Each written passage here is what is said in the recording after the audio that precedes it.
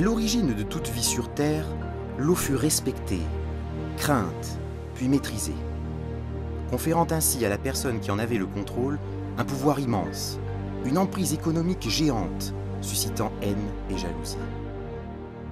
Il n'est pas étonnant de retrouver ainsi, en Alsace, un cours d'eau à la taille modeste, apprivoisé par l'homme et géniteur au fil des siècles de conflits parfois dérisoires.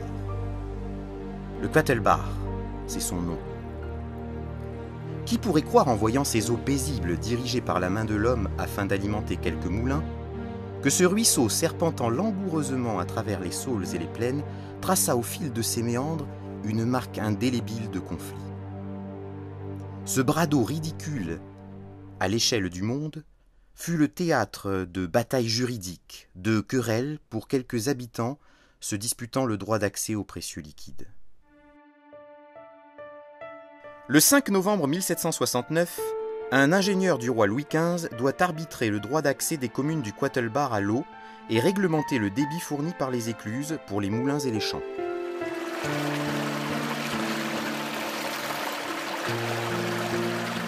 Notre petit ruisseau n'est pas un canal comme les autres. Il illustre à lui seul le génie humain de l'époque. Sa survie de nos jours atteste également de la robustesse des constructions qui ont servi à optimiser son rendement. Écluses, ponts et bordures, tout fut étudié par l'âme humaine afin que la plaine ne manquât pas d'eau. Ce poumon économique vital devait être entretenu, choyé et parfois modifié car il devait faire vivre toute une région. Ce système d'irrigation a été réalisé et étudié par les moines de Cîteaux qui ont fait l'étude et les travaux de terrassement pour avoir une retenue d'eau plus importante. Cette irrigation est, très simple et complexe à la fois. On prend l'eau en amont ici au Steinig à un niveau élevé pour l'amener vers les prés à un niveau plus bas. Là-bas je barre et j'ouvre les vannes vers les prés pour irriguer sur environ 20 ouvrages.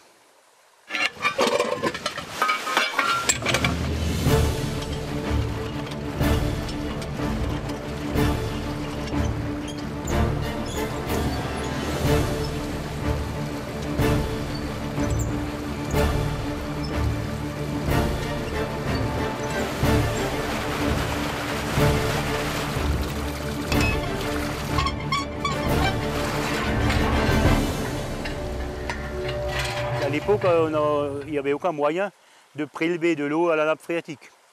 C'est pour ça que ce système a été étudié pour, euh, pour irriguer les prés.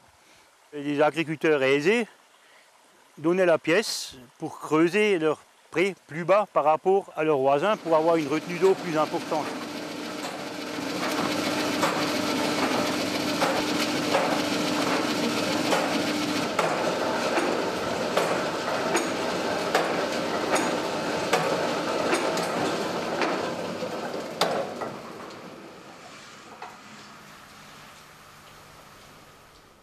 Malgré l'arrivée de la modernité et les aménagements faits sur le Quattelbach, les querelles ne cessèrent pas pour autant.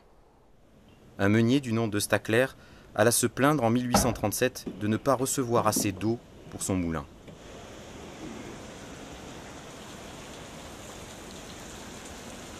Voilà. Par ce décret, vous aurez accès à l'eau du Quattelbach et les paysans pourront irriguer leurs champs une fois par semaine.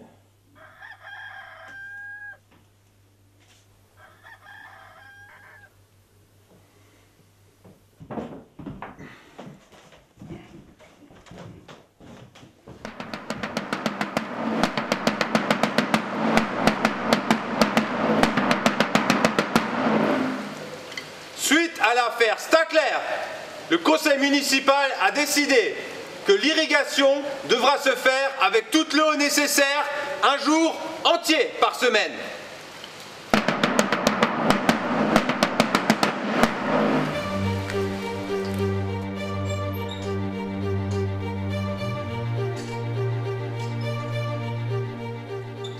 Cette eau qui reflète l'âme des prés est alimentée par le Quattelbach. Mais d'où vient ce nom? C'est en 1401 qu'il fut baptisé ainsi en référence à l'archiduchesse Catherine de Bourgogne, laquelle accorda les droits d'utilisation du Mühlenbach à la commune d'Ensisheim exclusivement.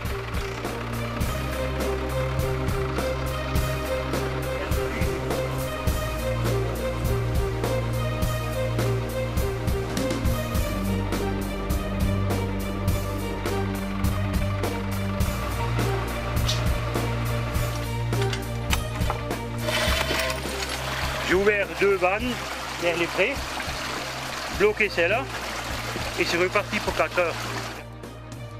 Très d'accords et de désaccords entre les hommes, le Quattelbach fut un lien économique primordial pour le sud de l'Alsace. Cependant, dans notre période moderne, le ruisseau de Catherine s'est un peu éloigné des hommes. La nature y a repris des droits certains et la végétation jette un voile pudique de verdure sur les conflits qui ont parcouru les méandres de ce cours d'eau si particulier.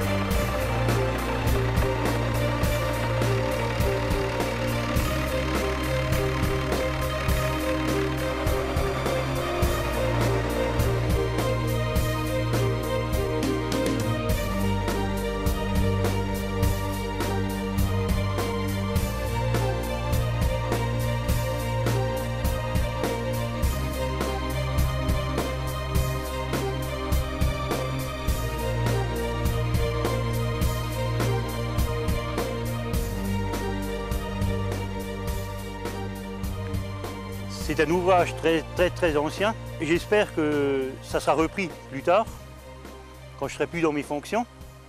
Ça, me ferait mal au cœur de voir tomber euh, tel ouvrage à l'abandon. Existera-t-il encore, dans les années à venir, des hommes comme Jean-Paul, capables de transmettre les gestes immuables de cette mélodie d'ouverture et de fermeture d'écluse?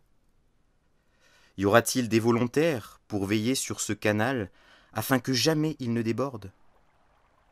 Serons-nous encore capables d'apprécier, malgré le confort moderne, le génie de ces constructions qui ont fait de ce bras aquatique une artère économique vitale? Espérons qu'un chef d'orchestre vienne à son tour reprendre la partition musicale jouée par les eaux domestiquées du Pottelbach, redonnant ainsi aux hommes le lien qui les unit à la nature et au rythme des saisons. Laissons-nous enfin surprendre par cette histoire si particulière d'un cours d'eau pas comme les autres, qui nous réserve encore certainement dans ses eaux saumâtres des tours magiques à l'ouverture d'une écluse.